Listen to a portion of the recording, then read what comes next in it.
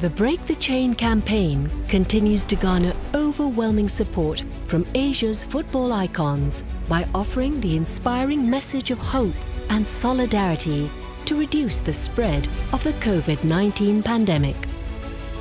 More than 100 Asian stars, as well as match officials and member associations, have joined the campaign to emphasize the importance of the World Health Organization's guidelines in less than two weeks. We thank all of Asia's icons for their contribution in lending their voices to promote the most stringent standards of hygiene, social distancing, and staying at home during this unprecedented time. بسم الله الرحمن الرحيم العام والجميع بخير بمناسبة حلول شهر رمضان الكريم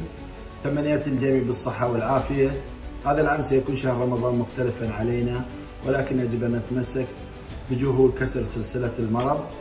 كل التحية والتقدير للطواقم الطبية التي تعمل من أجل مكافحة هذا الوباء خالد حربان مدرب منتخب البحرين السيدات 大家好，我是上海上港队球员李世龙。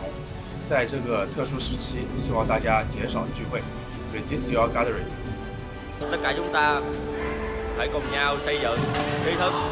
uh, giữ gìn sự an toàn cho cộng đồng và chia sẻ trách nhiệm The Asian Football Confederation will always stand with its players and member associations to break the chain together and fight this common opponent.